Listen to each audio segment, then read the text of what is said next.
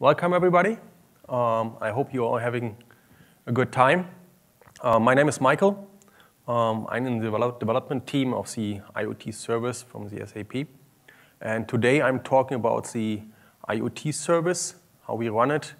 Of course, I want to show you a little bit also demos that, that you know what we are talking about. And of course, since we're here at the Cloud Foundry Summit, uh, we also want to jump into like what are the challenges? So what are we leveraging from Cloud Foundry? And how this all fits together. But before we start, uh, you might have seen already some presentations um, about uh, IoT today or in the past. Um, just a short motivation. Um, of course, IoT is about connecting things, devices, so whether it be machine or robot, and collect data from these devices, and of course make meaningful uh, value out of that. So connected to applications like predictive services, remote maintenance and whatever scenarios you can have. And of course, the challenge is how do we get this data, right? Because these machines rely, of course, on how big they are, how much data they produce, what kind of data they produce, maybe structured data or unstructured data. Then, of course, how they talk to each other, right? So we are talking there about protocols. Um, so that you see it's a huge heterogeneous world. Um, and this is, of course, a big challenge. And in order to get this data from these devices, um, you need some kind of data ingestion. And that's the promising of an IoT service, basically to collect the data uh, from these devices, connect these devices, uh, even they vary in their protocols and of course in their characteristics, and then provide this data to the applications. I mean, I just now, now talked about, let's say, collecting data. Of course, it's also the other direction. Uh, sometimes you maybe want to change the configuration at the device or even send two commands to them. So we are talking now about, let's say, about bidirectional communication. So you have devices on the one hand, collecting via sensors data, so whatever this may be, maybe the temperature or a certain status. And on the other hand, you want to send commands to the devices up to even firmware updates for software. Um, and of course, this is a challenge what we are facing. Now, um, what I'm talking about now is an offering which is called SAP Cloud Platform Internet of Things. So this is basically what I call and refer here now to IoT service. Um, it's based uh, on an acquisition. So last year we acquired a company based in Italy called PLAT.ONE. And um, this has been very strong in connecting a set of devices and supporting variety of protocols in the IoT space. And of course, we move this into the cloud, into the Cloud Foundry environment. This is why I mentioned here now for the Cloud Foundry environment. We started with a beta program because it's really important to listen to the customer. Uh, what are the needs? Maybe like how to collect the data, where to connect, collect the data, and what kind of data, right? So uh, one example, we even have it in the audience, uh, was with Mitsubishi, where we presented a demo at the Hanover Fair, so how to collect the data and then visualize this in a, in a according manner. So there we collected the data from a robot. And um, after a certain time, we got all this feedback, uh, of course, put it right into the uh, development and basically uh, offered the service now since uh, May this year. Um, we offer the service. Um, we run first on Amazon Web Service. Um, so this is our basically first uh, cloud provider um, of course, we are intending uh, building on top of SAP Cloud Platform. Therefore, we are using this multi-cloud approach. Uh, I will talk about this uh, at a later moment. What is the name of the Italian company? Plat.ONE. Plat.ONE. Plat.ONE. So P-L-A-T dot one. Right. Now, um, since um, I want to go a bit more into the detail, uh, I pulled out an architecture slide um, which shows on high level what components we are talking about. I'm always talking about devices, so connecting devices. So what we see on the left side uh, are devices which may talk different protocols. What we support out of the box is a communication via MQTT, so this is a very common protocol in the IoT space, and of course HTTP to the cloud. And now in the center, what you see is the IoT service, running basically as a backing service on AWS. And with that, we have multiple components. One is the IoT Gateway Cloud. Uh, Maybe some of you have listened to the integration of BRM, so this is why it might be familiar to you. And the IoT Gateway Cloud is basically the connection point which provides a variety of protocols. Actually, there are two running two instances because one for MQTT and one for HTTP. Then this data is sent to the IoT messaging service. This is basically our message broker. Underneath, we have an ActiveMQ. So basically, we can uh, publish all messages to our internal message broker and then handle the data. And that's the responsibility of this core component. Um, so to persist the data, uh, we currently store the data in a Postgres database and of course provide according APIs to create devices, uh, to create, let's say, the modeling of a device, so what data they can talk to, for example, and of course getting the device, device data via API. So we have a strong approach that we say API first, so this is really key. Uh, so whatever you want to do with the platform or with the service, you can do via API. And of course, on top, uh, we are leveraging also this API via an according user interface. We call it the IoT Service Cockpit. So this is what you see on the top right. Um, this is basically our user interface for creating, visualizing some data, and of course, dealing with the service. Now, since there might be some devices who don't talk HTTP or MQTT, um, we are having another component, or basically the component you see I mentioned before, which is IoT Gateway, which is basically a Java runtime with an OSGI container, which can also run on the edge side, which means it's not running in the cloud. You have the ability to install this on premise, uh, and therefore you are able also to talk other protocols. So we support out of the box beyond HTTP, MQTT, for example, file adapter. So in case you have legacy files or you have uh, structured data in a CSV format, XML format, or whatever have you, you can uh, connect to these files, get the data out of that in a structured format, and send this to the cloud. Similar approach we have for CoAP, SNMP, and Modbus. These are also our very common standard protocols. And of course, there are more to come. So for example, we are investigating in OPC UA. So this is a very common protocol in the manufacturing space. But of course, uh, we want to be open there uh, and allow even partners or customers to develop their own. So this is really important. So once you have a device, maybe it's a very specific protocol in your environment, uh, what do you do then? For that, uh, we will offer an SDK, which allows you as a partner or as a, uh, or as a customer to uh, develop your own protocol. And I mentioned that this is a Java runtime with an OSGI container. And of course, this has ability to deploy the things during runtime, and this is exactly what we are doing. So we can install, update, and upgrade these individual adapters for these specific protocols via the cloud on this edge software, which means whether you develop your own adapter or we use one of the standard adapters, you can manage them via the cloud and basically put them onto the IoT Gateway Edge. Right. And with that, actually, we already uh, talked about the first part. So we have now the ability to connect to devices with various protocols. And then, of course, we send this data, I mentioned already, uh, to our internal message broker, so the messaging service. So we use JMS. And then, of course, uh, have according APIs and whatever um, to provide this data. Now, what do we do with this data?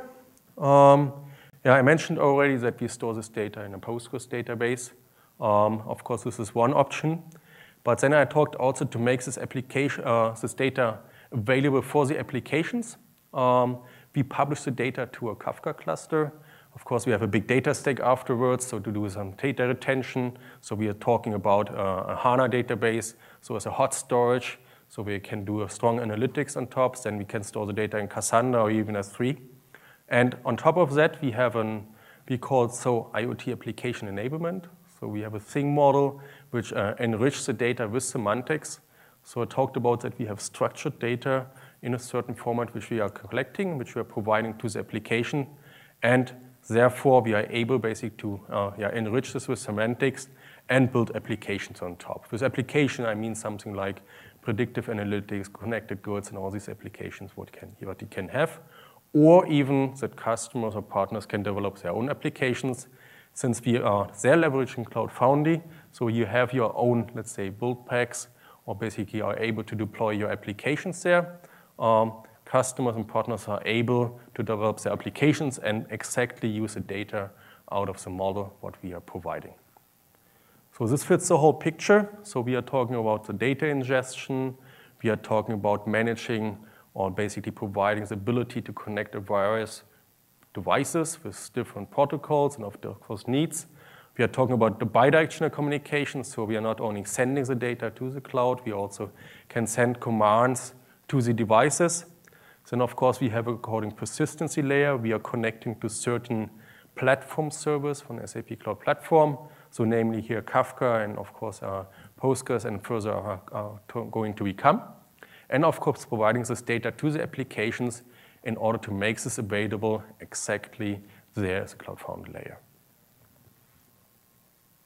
Now, what is this in the end, what we are providing? Uh, we were talking a long time, so are we going on top of Cloud Foundry or are we going on the IaaS layer? So currently, the IoT service, it's a backing service. And there, of course, we are leveraging of some benefits what Cloud Foundry brings. So we have our own service broker there. Um, so we are using full BOSH deployments. So we have different plans for sizing when we provision the IoT service. And of course, we use the BOSH director for provisioning the instances, right? So I can easily go and do a REST call, just press, uh, say what sizing I want to have, so which BOSH plan, and then I easily have an instance automatically deployed on AWS. So this is, of course, a huge benefit what we are having. Um, but there are also some challenges which I will come later to um, when we go that. Now, um, of course, we are integrating with uh, certain services as well. Um, I mentioned not so far like how do we do security. So whenever we connect a device um, to the cloud, uh, we need some kind of security, and therefore authentication we use certificates. Uh, there we use a Trust Center service from SAP uh, in order to get device certificates in order to have a secure communication. I mentioned already the Kafka, so basically a Kafka broker in between uh, to send all data to to make it available in our big data storage for the applications, and for example, AWS RDS, where we store currently, for example, the metadata, so the device model, uh, and what have you. And unfortunately, we have to manage some components even ourselves, so like a BOSH director, service broker, and even Elk stack. Um, of course, there we are leveraging also from the platform services from um, SAP Cloud Platform. But this is something, uh, of course, we have to manage, and of course, um, um, yeah, this is a challenging thing for us. Now, before I go into the uh, demo, um, I want to shortly mention the device model, what you have, because sometimes we talk about devices, machines, and what have you. For that, uh, I brought up a short picture to explain shortly the device model. I talked about gateway and protocols. Um, so let's assume we have a device talking HTTP. Um, so then uh, we are talking a really a device, a physical device, which has a unique address, which you address. So for example, an IP address. And uh, within this device, we have an additional abstraction layer, which is sensors. You can think of a, of a car which has an engine and which has some tires. Of course, they have totally different semantic sensors uh, and how you address them. So this is why we have an additional abstraction layer. And of course, we want to have a reusability. So let's assume you have four tires, and each tire has a temperature sensor. Uh, you don't want to model each one itself, so what type, kind of data it's sending and so on. So we introduce an entity so-called sensor type, which you can reuse. And what does a sensor type actually does? Yeah, it defines what data we can send uh, to the device or the device is sending to the cloud. And there we're talking about capabilities. I mentioned something like a temperature value already, which would be one property. So like, let's say, a double value uh, sending to the cloud. And if you have more than that, you can encapsulate this within one capability. Um, so now let's go to a, to a short demo. So um, I have not bring a big, huge machine with me now. Um, so I thought something, what, what is light and what is handleable. Um, so I have here such a sensor tag. Uh, it's from, uh, basically it measures temperature, acceleration, and what have you. But this one is talking Bluetooth, so it does not have internet connectivity. So therefore, I'm just using my mobile phone here, which connects to Bluetooth to this device. and then I want to uh, sense this device. But firstly, let's see how we do that, right? So what you see here now is the IoT service cockpit, basically the user interface, which I was mentioning in beforehand. And here I already modeled and created certain devices. One which you see here is already, this is our sensor tag here. Um, and if you look into that, I mentioned we are talking about structured data, about modeling of capabilities.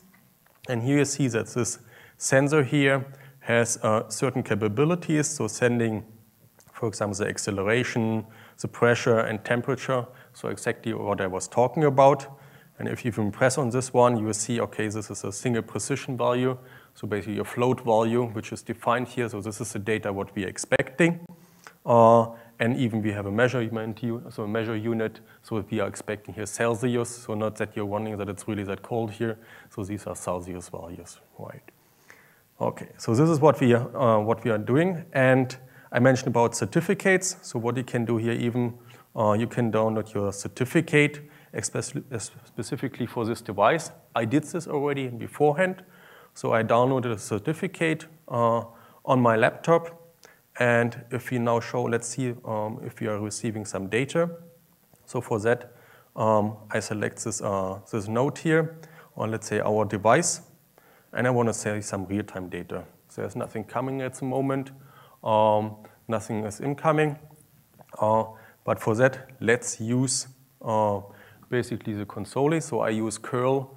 Basically, this is a tool for sending HTTP commands uh, or HTTP posts.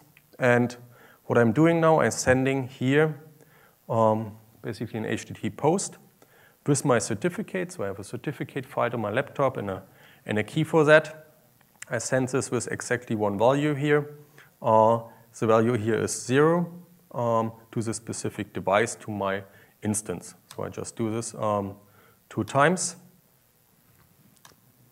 And what we should see now here, uh, so there's a two times the value zero arrived. So now since that you, you also want to see something, um, so I have now here a value which is 21. So you see this here on the lower corner. So I send now the value 21 two times. So via HTTP.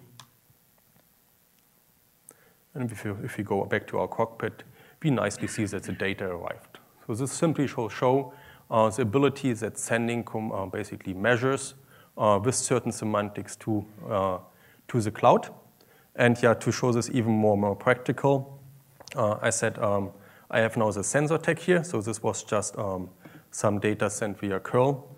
So what I have here now um, is uh, um, the, mobile, the mobile. So I'm starting now an application which is actually connecting to this instance, which I just showed where I showed the cockpit.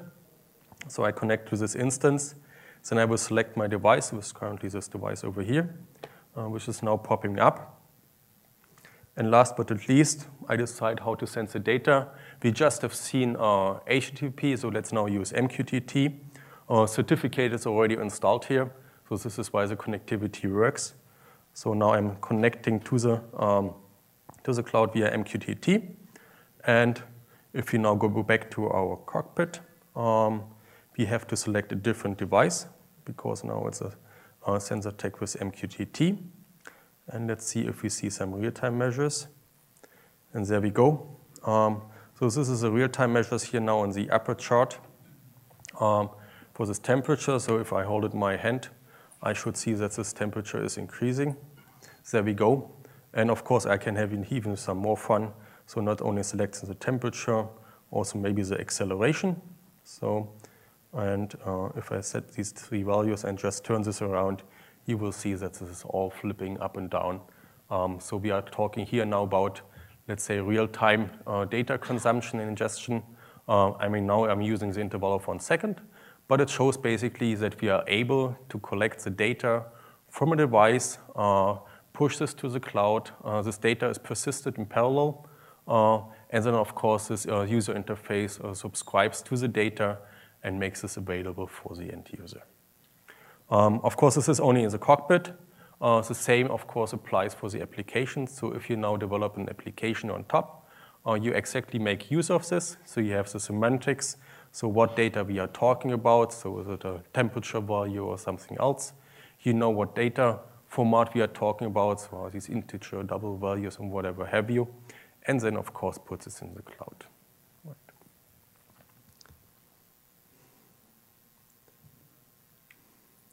Now, what have been the challenges? I mentioned uh, um, there was a strong decision, so where do we put the IoT service? Because it would be really beneficial to make use uh, of CPaaS, put it on the Cloud Foundry layer, uh, but there have been some challenges.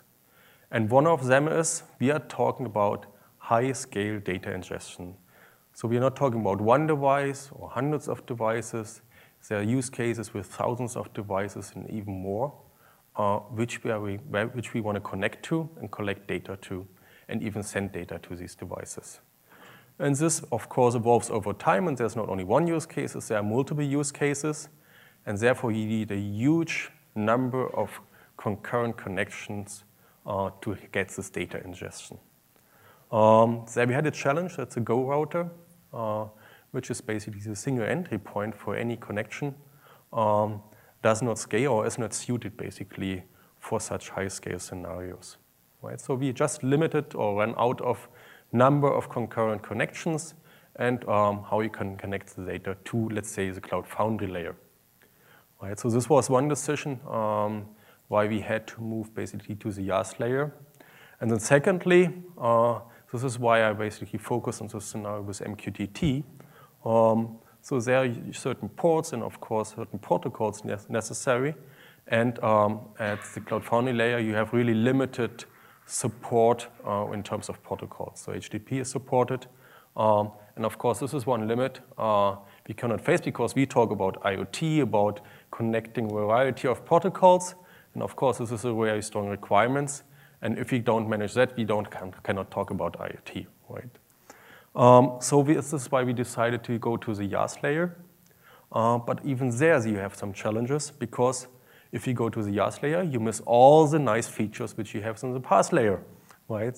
So I mentioned that we have some, let's say, our self-managed services, like BOSH Director and whatever have you, and uh, like the Elk stack. So everything which is about scaling, so basically just provide another instance, uh, uh, fail overcome, and logging, and of course monitoring, whatever comes with the PaaS, you lose, right? So you have to do it yourself on the IaaS layer, um, which is of course quite challenging because um, uh, it's additional effort um, and it's additional infrastructure which you have to maintain, operate, and whatever. The last thing is about scalability and multi-tenancy, right? Um, so we need to scale out for certain components. Let's take certain components like the IoT gateway. It would have been nice if this instance or this uh, runs on the Cloud Foundry layer. You can easily just create another instance or container and whatever have you, uh, but we are on the IaaS layer, right? Um, of course, there are options as well, but you have to do it differently. Um, and of course, this is something which we are working out. So pick out individual components, how to scale them, and of course, we are discussing putting certain components uh, on the Cloud Foundry layer. Um, of course, as I said, um, we are still there and um, in the integration process, but this is, of course, challenges we are facing. And there, of course, like the first ones, again, we come to this question, so how can we improve with the Go router? So how to support these high-scale scenarios on the Cloud Foundry layers and even, even introduce additional protocols because it won't stay with HTTP and uh, with MQTT. Uh, of course, there are much, uh, many other protocols we want to support, especially on the Cloud Foundry layer. And this is exactly um, where we are going to go uh, to. So we are going to introduce multi-tenancy at instance level. So what I've showed you in the cockpit, I logged in with basically a tenant uh, on the application layer. So we have a very fine-grained access control, which means you have certain devices and you can exactly decide which user within which environment or tenant we call it uh, can have access to data or create devices. And of course, there are certain roles. uh, but we are talking about here now about multi-tenancy, so to have not only, let's say, an instance provided via BOSH release, so that you have even multiple tenants within this environment. And of course, this is a challenge which we are facing now. I mentioned already the scale out, so for individual components. So of course, we will discuss uh, which components put on the Cloud Foundry layer. And uh, last but not least, multi-cloud. Right. So what I've shown you is running on AWS. Um, I mentioned that we are also making use of sorry, AWS RDS.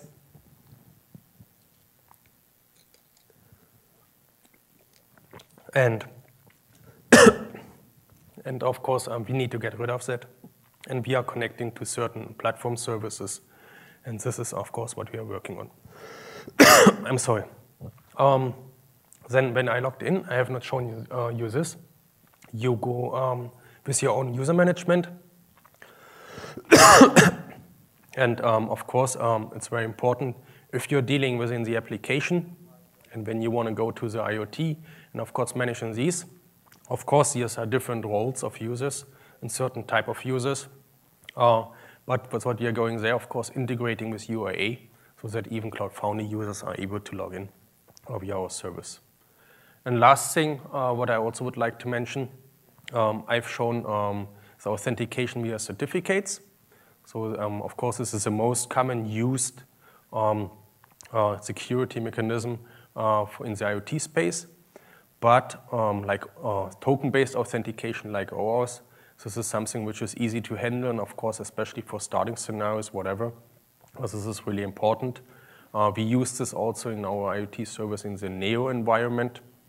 So basically one of the um, other IoT service, and this is also what we are going to introduce um, so that we have a token-based authentication uh, for certain devices. Yeah, as I said, uh, there are many challenges. Um, so it's not just that you take a yeah, service and put it uh, in the Cloud Foundry environment and it works for all use cases. Uh, IoT has its specific requirements. Um, this is important to note. Um, and of course, um, I hope I could give you a, a short introduction uh, what uh, the IoT service are about, how we make use of this, what the challenges are, and of course, looking forward to feedback. So thanks for your attendance, and thank you.